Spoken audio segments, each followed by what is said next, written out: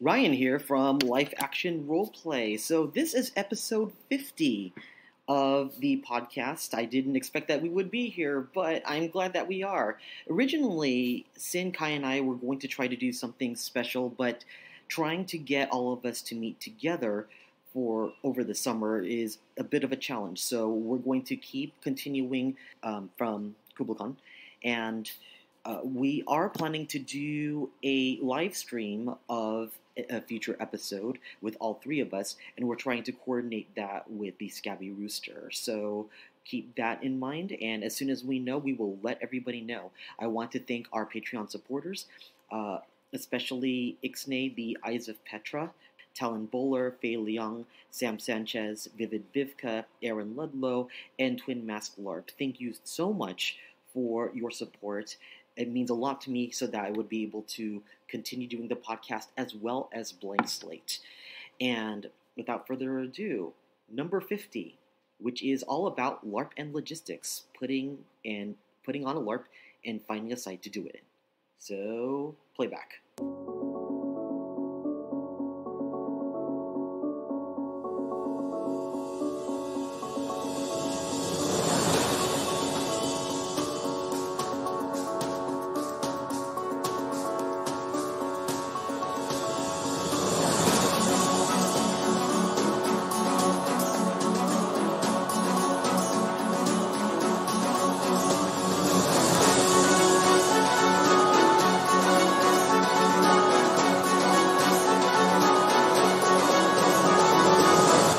All right, and we are live. Welcome to Life Action Roleplay with Ryan Omega. I am here continuing the KublaCon series of podcasts I'm recording while I'm here over Memorial Day weekend. And uh, let me introduce my guests. Introduce yourself, please. Uh, I'm Ryan Galiotto, longtime LARPer. Mm-hmm. Uh, been doing descriptive LARP like Vampire for oh, 20 some years. Uh, I also run the Bay Area Firefly Nerf LARP Mm-hmm. and play in Kai's Dystopia Rising, or I like to call Zombie Camp. Zombie Camp. What are we drinking today? Well, unfortunately, we had a, a short supply, so it's going to have to be what's important at cons hydration. So we're drinking water. Water. Water is always good.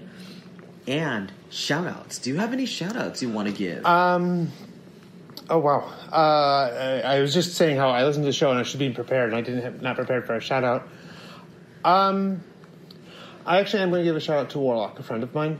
Uh, I've known him for years. He's the one that got me involved with Alliance and active LARPing, but I really give him a shout out because he runs the logistics for the Firefly LARP, and it's a lot of work. It's a lot of pain. He takes care of the character sheets and stuff like that, and I never th- feel I thank him enough. So he gets a shout out. Nice, nice. And I just met Warlock today, and he was running a game of Fireball Island. which is a fun classic. Yeah, fun classic. I didn't even know they rebooted it, and it was better than the original, from what I remember. But it was really nice for him and other people to hold down a table so that other people had the opportunity to play this game. So I also reconfirmed that shout out. Uh, my shout out is going to go to my dear friend Kailey Bray, who you have maybe you heard us shut out between Kai Sin and myself because she is an amazing person. She is a guest of honor here at KublaCon, and she's killing it. Like between doing di- dice damsels and everything nice, and organizing D and D in a jet with Satine Phoenix, and just being a guest at this con. Like she is, she works hard. She is a stunt woman and a D and D performer, and a great singer. Mm. And a great voice actress, so I want her to be in all the things. So my shout out to Kailey Bray. Excellent. Yeah, and to since since we are both named Ryan, To make things easy, To make we'll just call you Bruce. No. we're gonna. I think we're just gonna tag each other with last names, but it- there's only two of us, so Yeah. this should be pretty easy.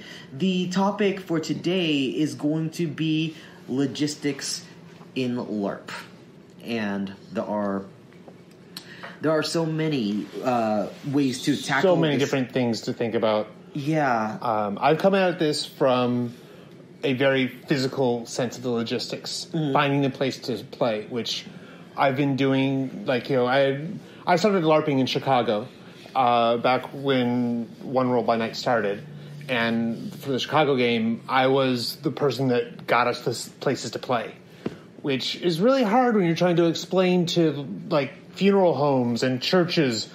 funeral homes. Yes. W- Okay, this okay. Keep going, but I want to know what this funeral. You asked a funeral home to play. Okay. I did a vampire LARP in a couple different funeral homes in Chicago. Oh my god.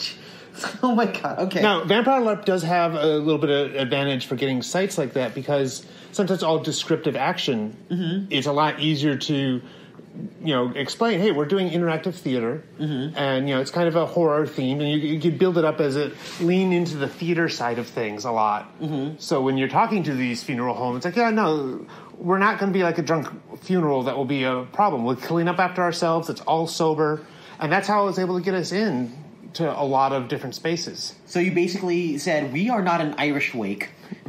we can. We we We behave ourselves and we clean up after ourselves. Right. wow.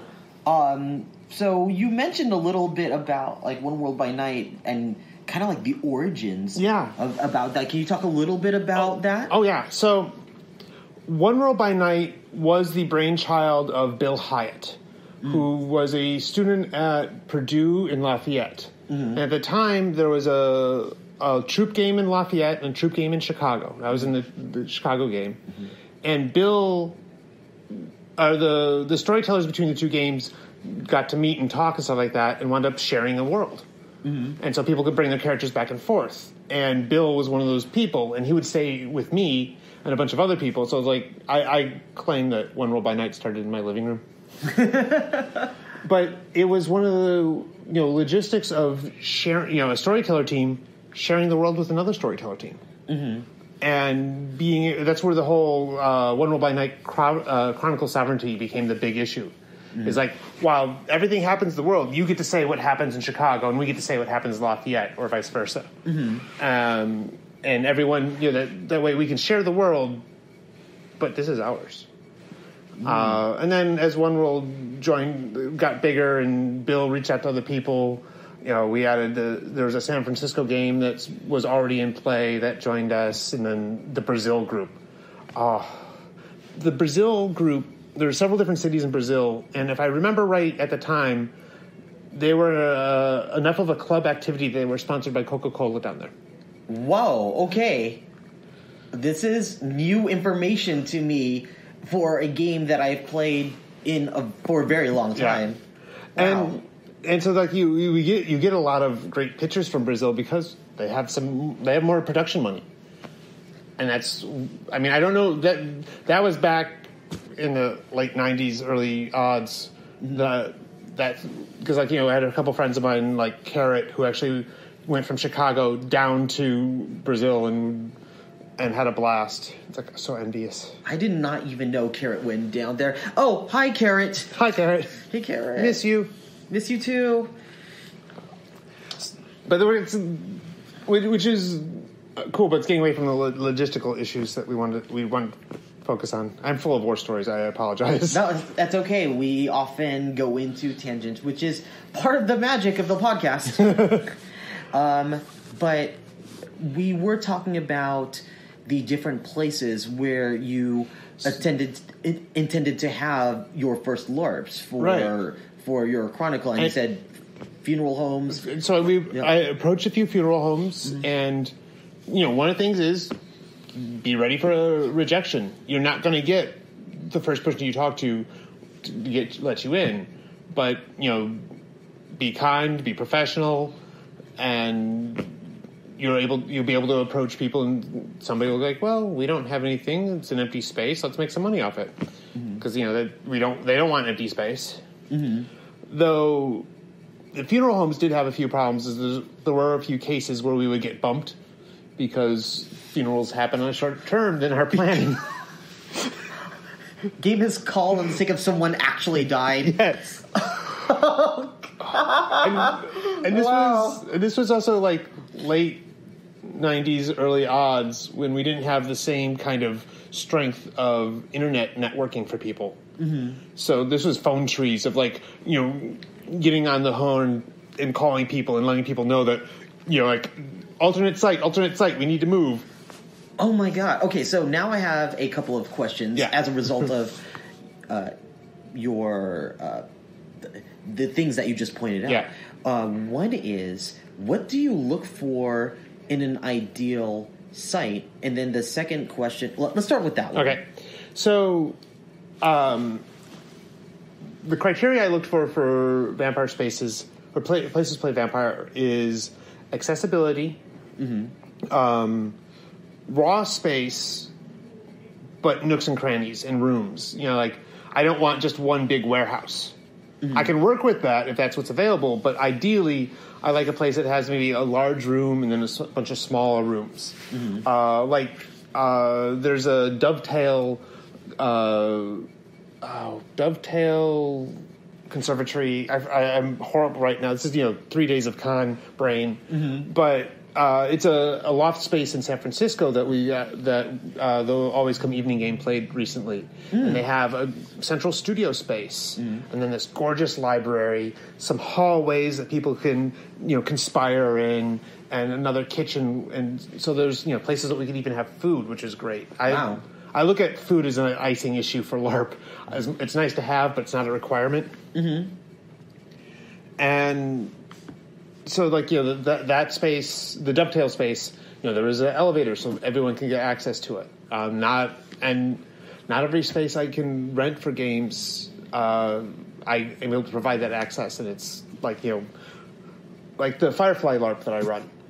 Uh, there's a huge stairway to get to it, and so I've have a couple people that can't come pay, play to my game, but I get that place at such a deal that, and it's not like there's other places available that allow me to do an active LARP or a boffer LARP. The other question that I wanted to ask was so you mentioned that sometimes you lose a space and you need to find another space uh, or another alternative site. Right. So what do you do when you do have short-term notices like that that you have to turn around really really quickly to Um, find another space to play?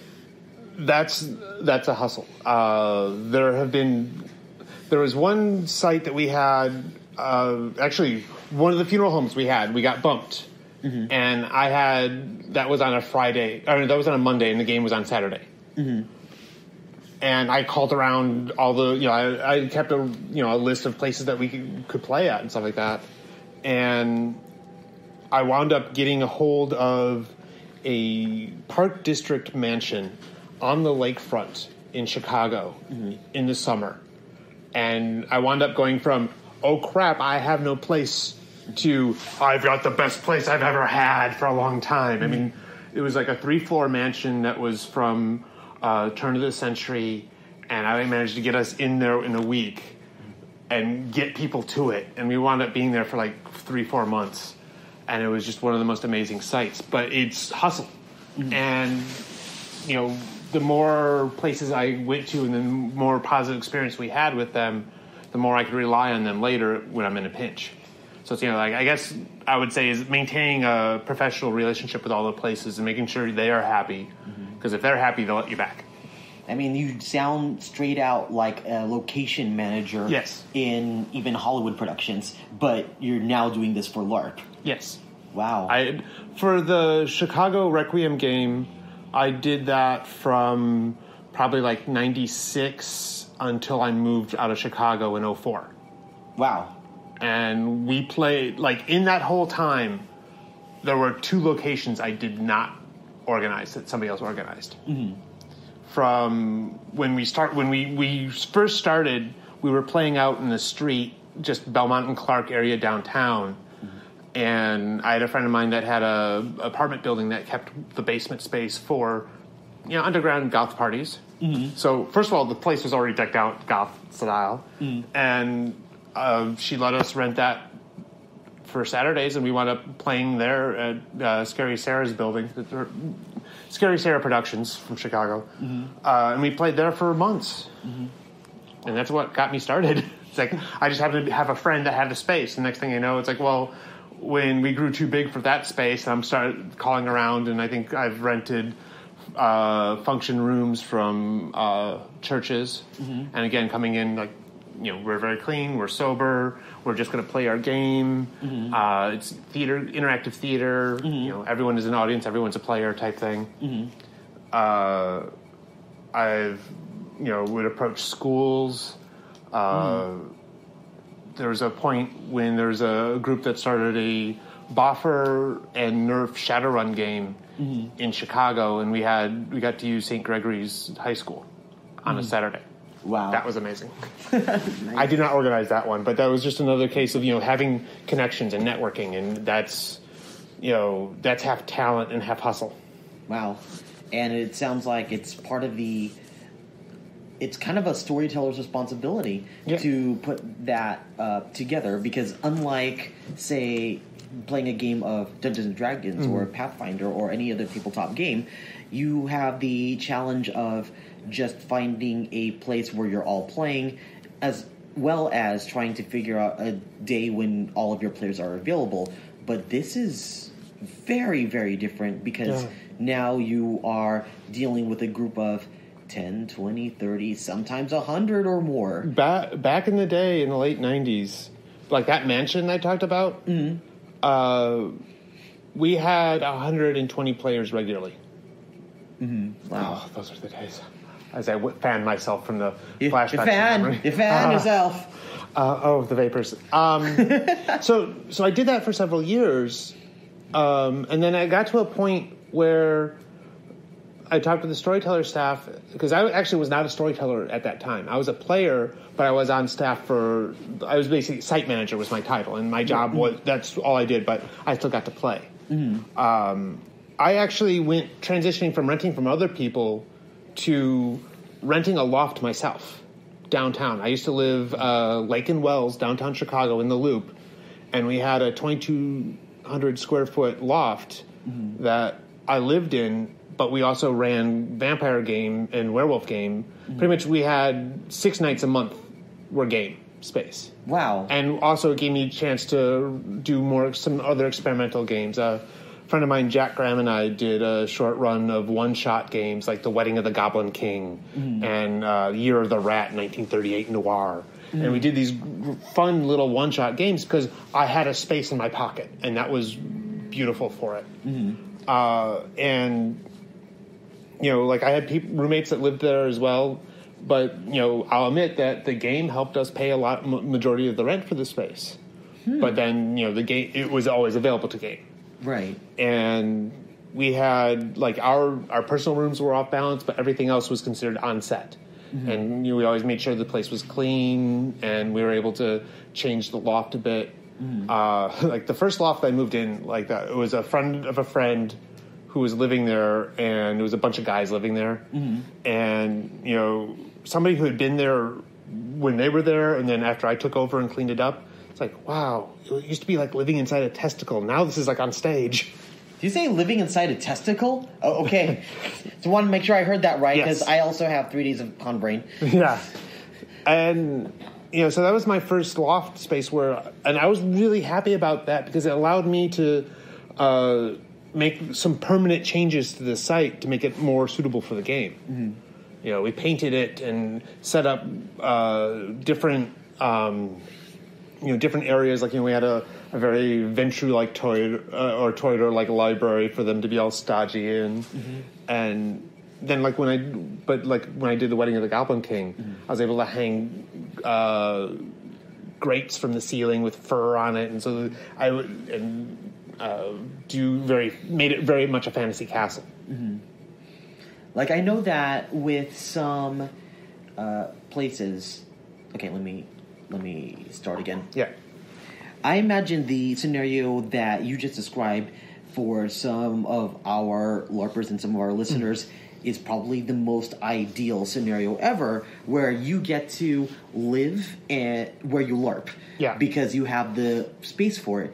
Now we hear some of the benefits of doing so, but what are some of the challenges of having that as your your living space? Um, Well, one of the things is you make this commitment to this game. This game gets this space at these times, and so you have to ha- keep that schedule. You know, like I can't move out of that schedule. Um, you know, I live my life around that schedule. Um, and one of the problems I had is not all the people that were roommates with her were copacetic with it. And it's like you know, I had I'd kind of have to nag people to keep this place clean because you know these people pay our rent, so we need to facilitate it for them. Uh, but you know, in my uh, late twenties, I was kid in the candy store. I mean, I was playing in the vampire game. I was running the werewolf game. There was a mage game going on. We had a Star Wars descriptive game going on as well. Uh, so it's like I was having a blast. You you mentioned the term descriptive game a couple of times. What does that mean? Um, I look at the kinds of I just basically I divide LARPs between a descriptive game, which is where the action is described, and then an active game, like you know Dystopia Rising, where you're actually connecting with somebody, where you're doing boffer combat. So that's an active game. oh, okay. So it is just alternative terms for, say, parlor and boffer. Right.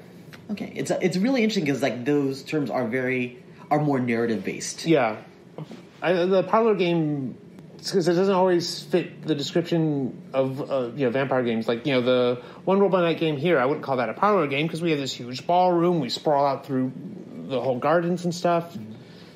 Where you know I find that a limiting description personally. Yeah.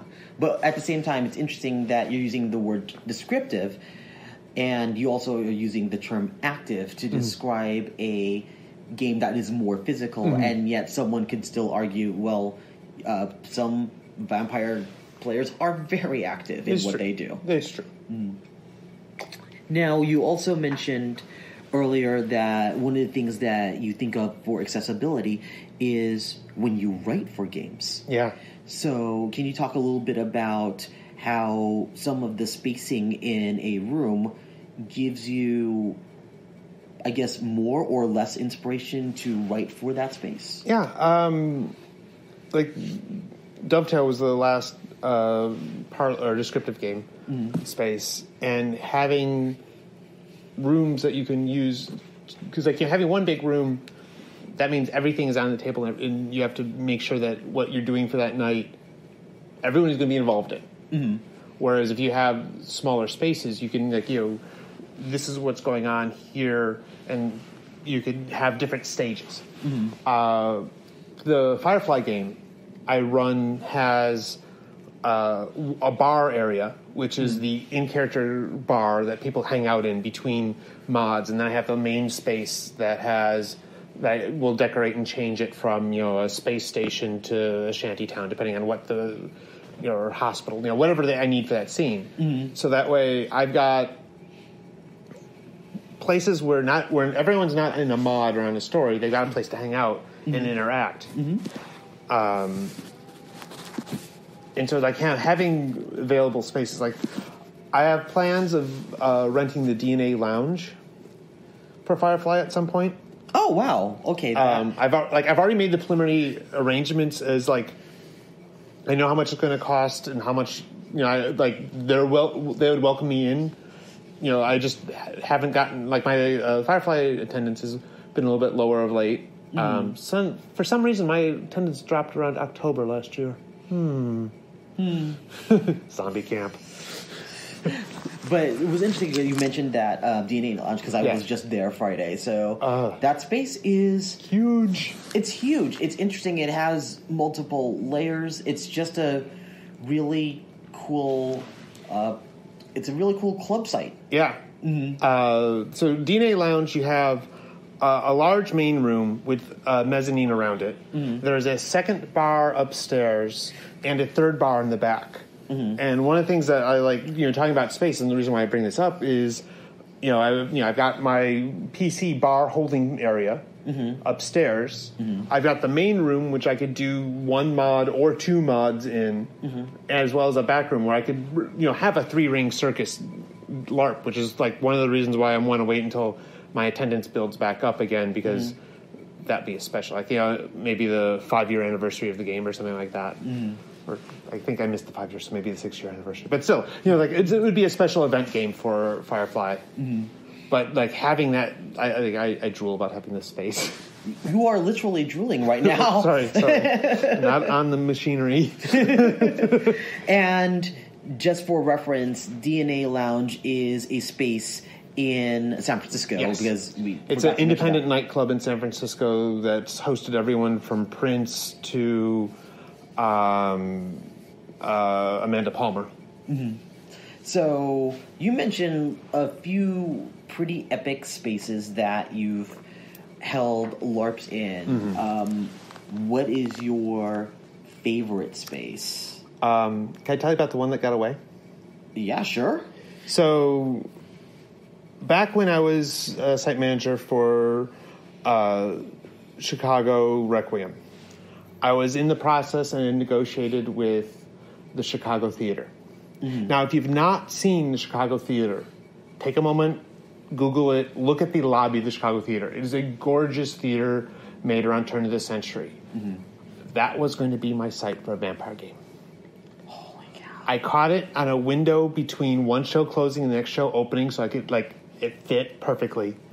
Uh, it would have cost I think like twelve hundred dollars, which mm-hmm. is how much we roughly how much we had in the game kitty at the time. Mm-hmm. And also remember this was like two thousand around 2000 maybe 99 2002 somewhere in that area mm-hmm. so that's also $1000 went a little bit farther than Yes.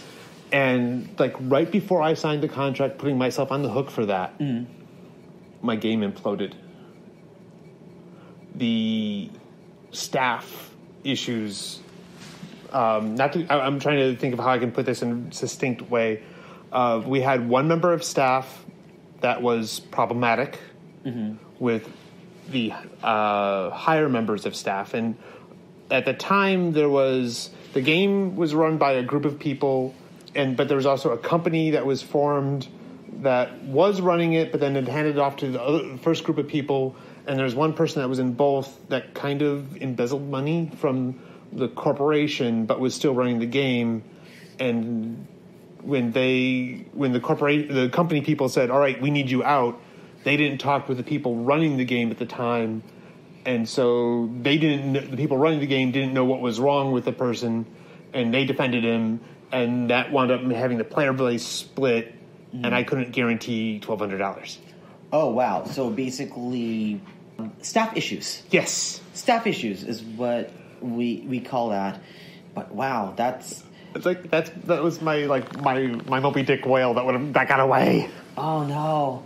But it also goes to show that uh, having a united staff is ridiculously Mm-hmm. important to making sure the logistics run, especially for in hind, the hindsight in this one is communication would have been key.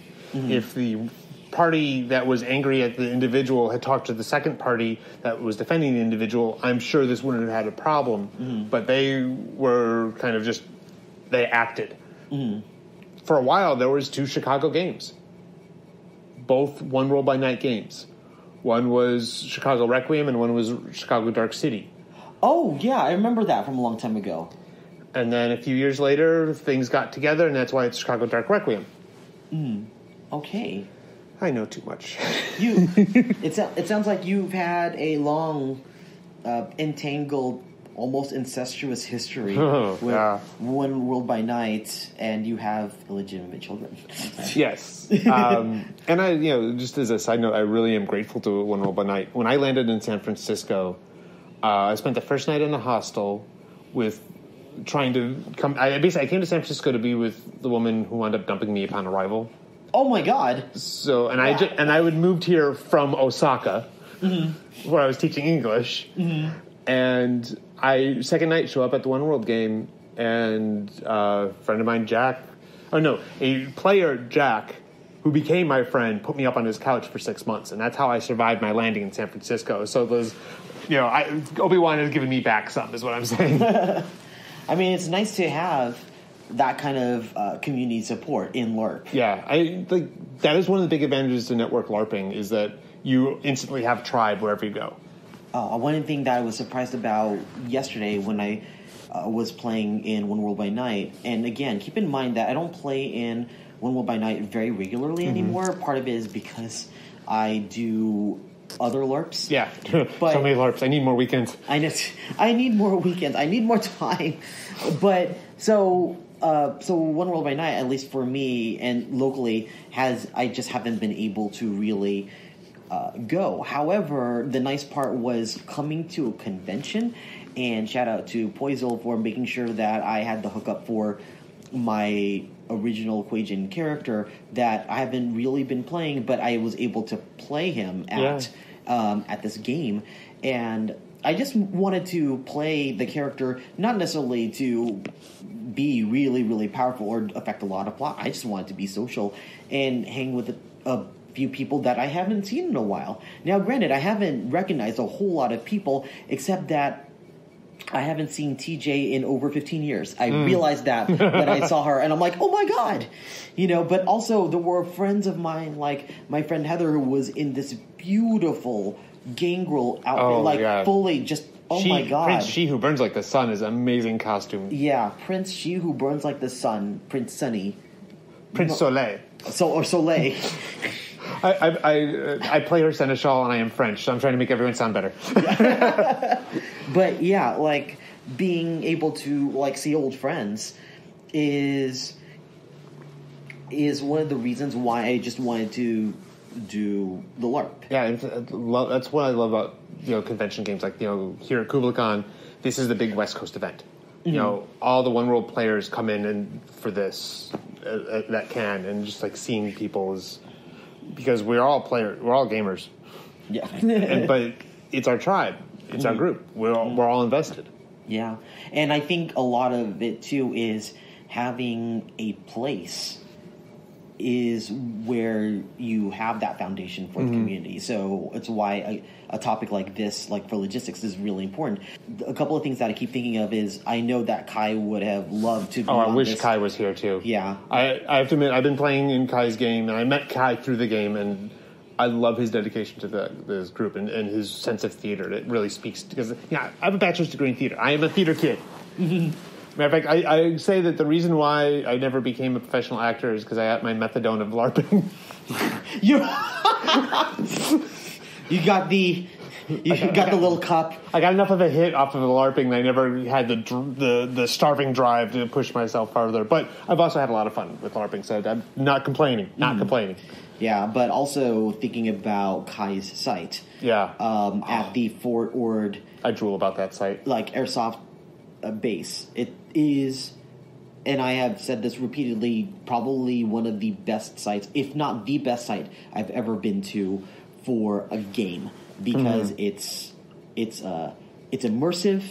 Uh, if there's rain, There's still places to play. there's still places to play, and you're inside of a two-story barrack along other two-story barracks, and so whenever things happen late at night, and there's and you know you're surrounded by all these zombies, or in this case, all of these uh, like these brutal Oh, the cre- he put he turns the creepy up to eleven. It's great. yeah when you have like brutal like i guess police fascist force Yeah. that will barricade the doors it, it is very very scary because you, there are not many places to run you have to just either fight or die Or run into the darkness and get lost and die alone.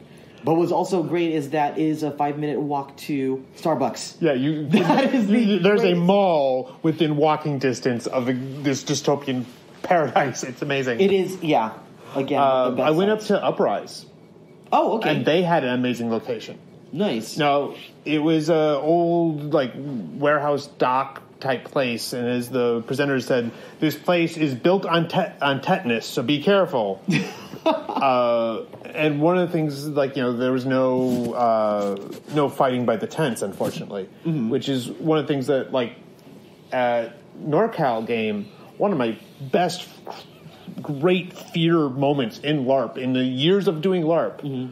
I've had two really great moments, and one of them was I'm sitting in a hammock with one body, waking up suddenly because something creepy is in our room. Mm-hmm. And I have that decision of do I call it out and help my friends do it, or will they get me and I become a liability to my friends? Mm. fortunately, somebody else called out. But it's like that adrenaline rush of waking up, going, "That is a creepy motherfucker five feet from me." Sorry, I forgot. I'm swearing on this. Swearing is totally fine. Okay. Fuck, fuck, fuck, fuck. No. I fucking forgot. but yeah, but that site I drool about. That is an amazing site. It's like, you know, it is probably too big for the Firefly game because my game is much smaller than Kai's. Mm-hmm. But someday, because each building could be its own ship. location, you know, you know, the joke about location, location, location. Location is very important. Uh, the Bay Area is weird. There's a group of LARPers that will play out in the suburbs, but won't come into the city.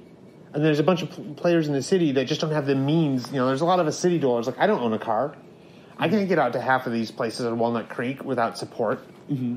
And so he's like, uh, so that location, you know, access, when I talked about access earlier, there's just physical asset, access in the building, but then there's also public transportation. Uh, and parking is always a big, everyone always, you know, I if I go, I want to be able to park and park safely. Mm-hmm. Don't want to invoke the city taxes, people's cars get broken in. So, let's play a little game here. Yeah. You have your choice of a site. Um, which rank in order the most important to least important? Food, or closeness to food, bathrooms, parking. Which is your top priority All right. for your site? My bias is bathrooms 1st food second, parking third. Now I don't drive, but but now be, being that said is if you talk about parking slash public transportation, I'll put that over food. You know, like if some places like uh, in San Francisco, you have the BART Bay Area Rapid Transit. You know, I always try to find sure make sure that locations are within a five ten minute walk of a BART station. That becomes a higher priority than parking to me, um, because you know with that you could always park by Daly City or park by West Oakland and BART in and make game. I guess for me, it's going to be parking, bathrooms, food. Because I guess for me, like if you don't have enough places to park, or Yeah. um, or at least if your site just isn't accessible to a lot of people, it automatically limits the number of people who That's can true. play. That's true. Um, secondly, will be bathrooms because uh, uh, people are going to have some personal um, issues, and part of it is like the accessibility Yeah. to a place where they can um, relieve themselves or even wash up if something happens. And food is a close but food is nice, but it's not that's i mean someone can bring food if they know that there's a site that's going to be away from places. In fact most of the time if we're camping i'm not expecting them to have food. I'll bring the food Right. myself. But if a place doesn't have a bathroom it, it i do have to think about it twice. If it has parking if it doesn't have a lot of parking i'll go the first time but i may not be bothered to go a second time and also getting to the sites. Um, a lot of uh, Boffer LARPs are uh, are more remote spaces. that's where like campsites and stuff are. Right. You know, I've done a lot of Alliance, which is a fantasy boffer game. Uh, there's a you know the San Francisco group that I've been playing with them for years. Like my friend Warlock, he's the one that got me into it in the first place. Um, and they've had some amazing campsites that have had on been up on these mountainside dirt roads that are like you know you're afraid to drive a goat through, let alone an SUV full of people in camping gear. Did you say drive a goat through? Yes. Okay. I was reaching there, and then those sites, you know, there was Camp Cutter that we that we went to for years, and it was one of those goat paths that were hard to get to, mm-hmm. but the site itself was fun. There's a huge lodge, there's a lot of places to play, and we got to know it. But something happened with the management there that they were no longer maintaining it as well. And like the new ranger in the space wasn't taking good care of it. And next thing you know, the lake uh, on the site was no longer having its churning device. So the mosquitoes got so bad that I refused to go back there. And I was not the only one. You know, the general manager is like, you know, the, twice we had the water stop working. There was no potable water. Uh, you know, one time the kitchen didn't work, and it had a full industrial kitchen that we'd used for years, but you know there are plenty of campsites to find, but you know the, it's getting harder. I, I really think it, the the more the climate goes, it's harder to find affordable places for games. Mm-hmm. When approaching any site to do mm-hmm. a LARP, what are some things that they are either expecting to hear from you, or what's information that you need to bring to them in order for them to qualify you to have the LARP at their site? So it, that depends. If um, doing it now, I think LARP is a lot more like the word term and that concept of LARP is a lot more common knowledge than it was, you know, 10, 20 years ago. But it's still a lot of education you have to provide for people. Um, when doing things for the boffer LARPs or active LARPs, uh, you know, a lot of the campsites and stuff like that, well, what's your insurance? And you need to make sure you are insured. You insure yourself walking to the site, uh, which is something that most descriptive LARPs I don't have to deal with. How does one acquire insurance for a LARP event? That I don't know. That is a Kai question. Yeah, okay. well, table that one to when you, you talk to Kai about it Yeah. at some point because um, the Firefly LARP, I'm fortunate enough that my location insurance covers me. Okay, So I don't have to get insurance for Firefly because uh, I'm already covered with them. Um, but that's only a Sunday afternoon, I suppose a weekend camping event. yeah. Um, I wish uh, my friend Anthea is the general manager for Alliance. I wish we could have ro- roped her into this. Or uh, oh damn, Aaron was here yesterday too. Ah, timing. She's the assistant general manager for Alliance and kno- goes through a lot of the pains of that and would be able to answer that insurance question better. But um, I've never, I've never dealt with that side yet. Um, though I have an idea of trying to do something that would be a little bit more hit and run spaces. Basically, talking to a commercial agent and seeing what it would take to get into some of the buildings that aren't, you know, like it's an empty office building. If we have insurance and we come in and clean up after ourselves, you know, that should be a plausible thing.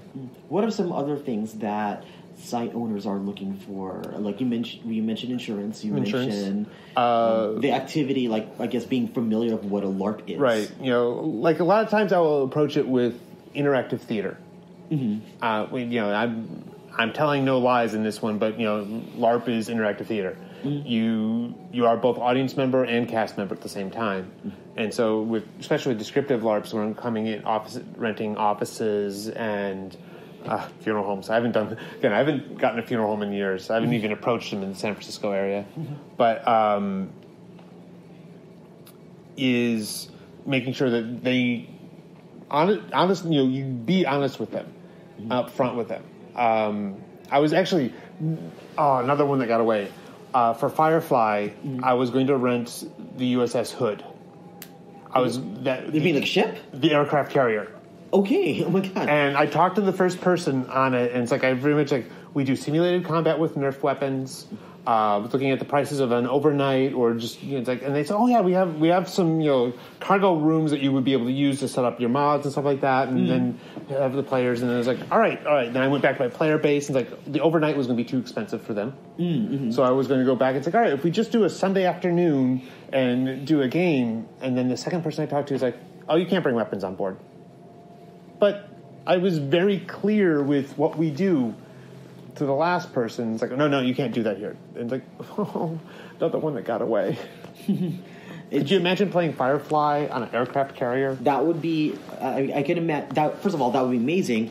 Secondly, I- and playing anything on an aircraft carrier Yeah. would be would be worth it. It also sounds like cost is going to Yeah. be a important factor that you definitely need to figure out, Uh, and then divided by. By your player base. Like, for example, players. the uh, one of the problems with the hood is that if we were going to do overnight, there's going to be $100 plus every base for anyone that stayed overnight. Plus, so it wound up coming about $200 a person for a special event game. Oh, that's. Uh, But, that- but but that would have been two days in an aircraft carrier playing Firefly.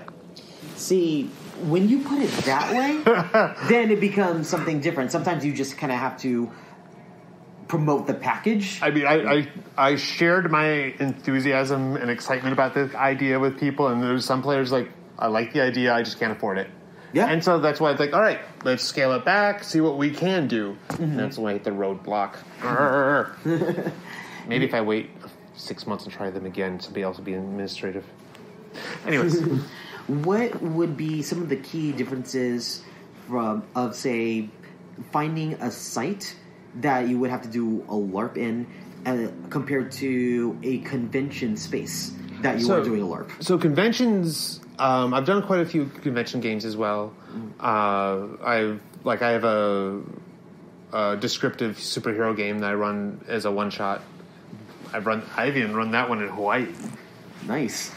Oh god, uh, uh, Comic Con Honolulu two years ago. I got to run some stuff there. That was a, that was fun.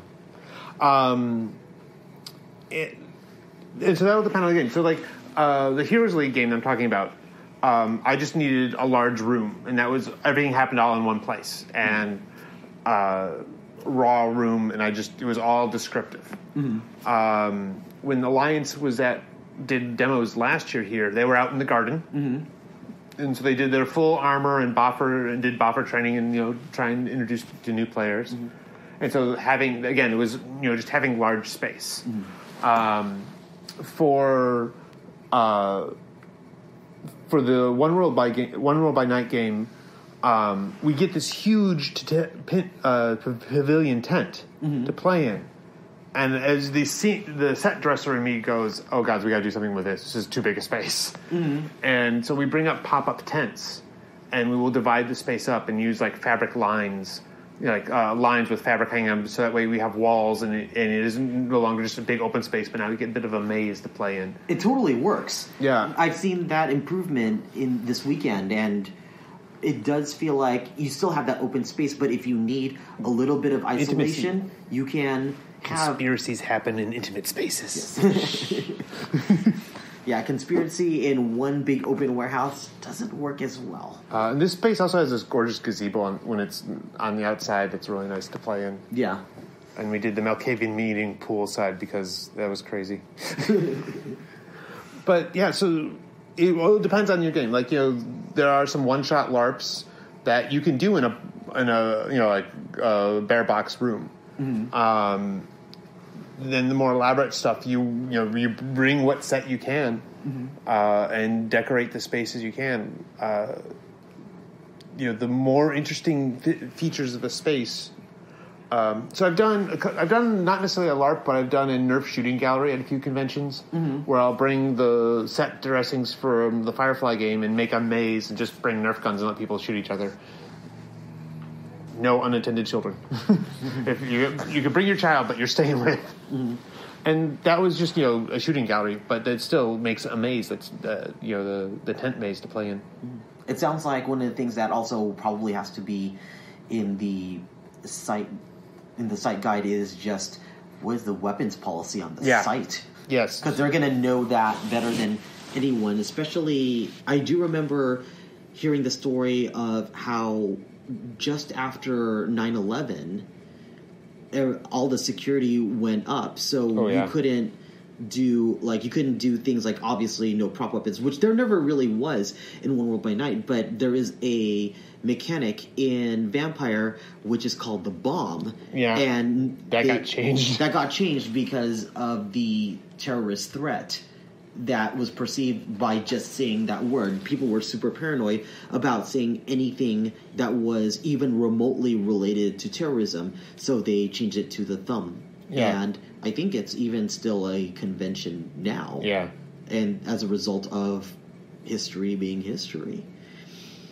What advice would you give to people who are searching for their own sites to run a LARP, aside from all of the fabulous information that you have just Well, divulged? uh, or to sum some of that up, is that uh, definitely be honest but positive with what you're doing.